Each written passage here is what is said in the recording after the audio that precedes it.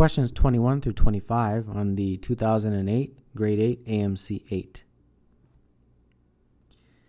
Jerry cuts a wedge from a 6 centimeter cylinder of bologna as shown by the dashed curve, which answer choice is closest to the volume of his wedge in cubic centimeters. So, what makes me think that this is exactly half? If I stared at this for a while, that's the conclusion I come to. So, I've basically got to figure out half of the volume. Well, the volume of a cylinder is pi r squared times the height, and I guess I have to divide it by 2. So the radius, well, they tell me the top to bottom is 8, and that is obviously the diameter of that circle. So the radius has got to be 4. So I've got 4 squared. The height is from there to there, and they tell me that's 6. So there we go. So this looks like uh, 16 times 6 divided by 2. So 16 times 3, which is 48 pi. And pi is approximately 3.14, right? So this is going to hover around 150, probably around 150 approximately. So the closest, even without a calculator, you can figure out is definitely going to be C for number 21. For how many positive integer values of n and are both n over 3 and 3n three digit whole numbers? Okay, first let's just talk about n over 3 n over 3 has to be a three digit number, right? What are our minimum and maximum three digit numbers? Well, they're 100 and 999. So if n over 3 is equal to 100, which is the minimum, that means n is 300. If n over 3 is equal to 999, then that means n is equal to 2997. Okay, so this is my range for n so far but I also have to take into consideration 3n. So 3n again, same story. It's going to be a three digit number. My minimum is 100, my maximum is 999. If 3n is equal to 100, n is going to be 33.3, but that's not a integer, so n has to be at least 34 in terms of an integer value. If 3n is equal to 999, then that means n is equal to 333. Okay, so I've got another range. I've got to find the common range. So you draw a number line, you put in our values. I got 34, I got 300, I got 333, and I got 2997. So for the first scenario, I got a range between 300 and 297. And for the second scenario over here, I got a range from 34 to 333. So the common is that range. So the common range is between 300 and 333, like that for n. Okay, but this is involving 34 values of n, but please do not select 34 and move on. Take a little bit of time. Why? Why can I why can't I choose 34 and move on? Because we have to get integer values, and not all of these are going to give integer values. For example, if n is 300, n over 3 will be 100, right? That's great. But what if n is 301? n over 3 is not going to be an integer, it's going to be 100.3 approximately. And over if n is 302, again, n over 3 will not give me an integer, it'll be 100.6 approximately. If n is 303, then yes, we'll get an integer of 101. So the only values in this range that will work and give actual, actual integers are going to be 300, 303, 306, right? Multiples of 3, 309, dot, dot, dot, all the way until 30, 333. And how many of those do we have? Well, if you do that, it's pretty quickly you can count that there's 12 of those. So 12 is the correct answer to this slightly tricky question, number 22. The answer is A. In the square ABCE, AF is equal to 2FE, CD is equal to 2DE. What is the ratio of the area of triangle BFD to the area of square ABCD? So this is x, this is 2x. They tell you that in the question. And therefore the full side is 3x. So the ratio that they're looking for is BFD over ABCE. Well, the denominator is pretty quick. We can figure that out 3x squared, right? That's just the, the area of a square. But the top, BFD, is a little bit trickier. We're going to have to take the full area, but subtract from it three triangles. got to subtract this one, this one, and this one. Subtracting the very smallest one, it's 1 half base times height, which is x times x.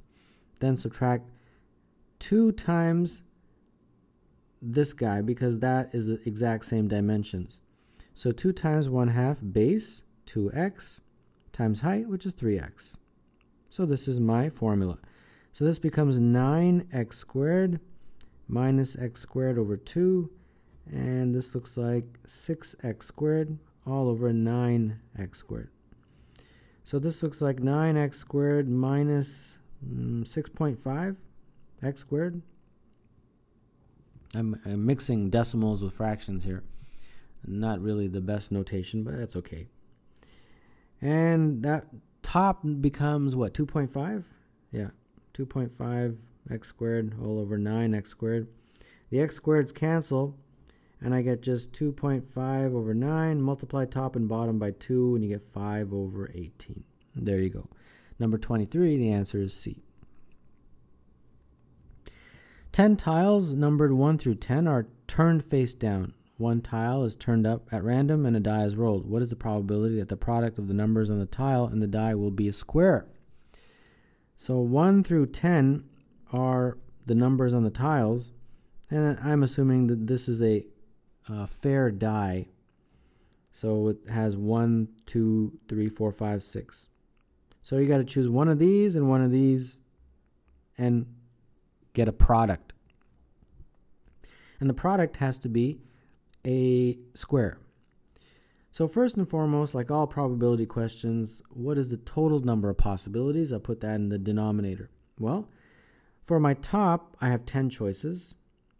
And for my bottom, I've got six choices. So 10 times 6. So 60 is basically the denominator. The numerators, of course, are specific condition, and that is that we want the product of this number and this number, the product of those two numbers to be a square. Well, what are squares? Well, there's one squared, two squared, three squared, four squared, like that, right? And how how far do I have to keep going here? Well, the absolute largest possible product is 10 and 6, and that's 60. So we can never have a product greater than 60.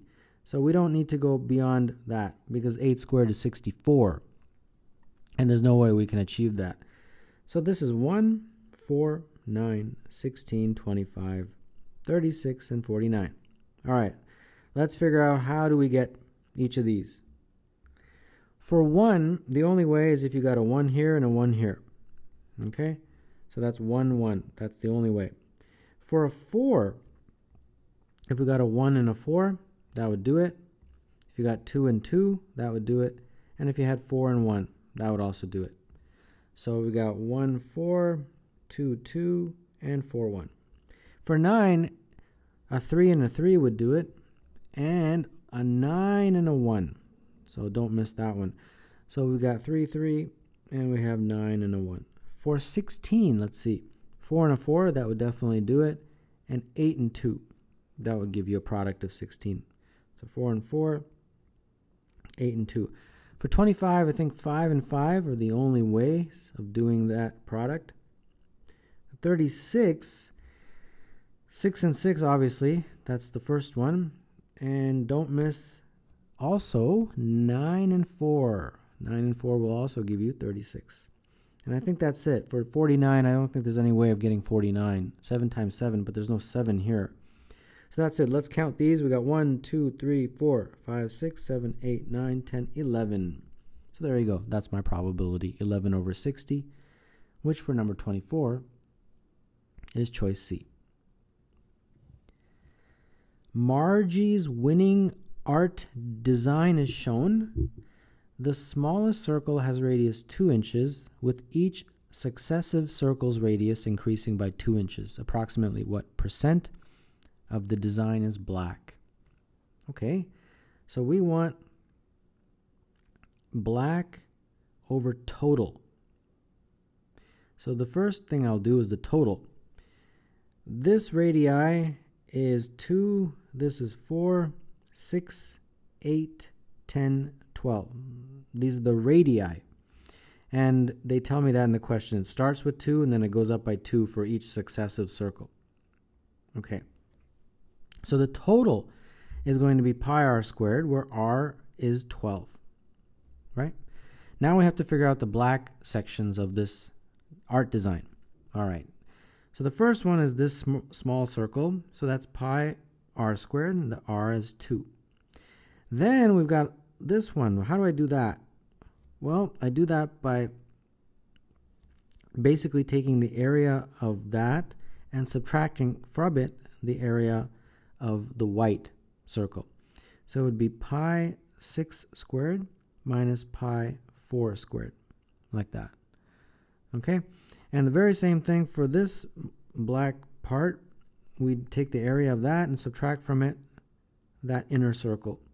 So that would be pi times 10 squared minus pi 8 squared, like this.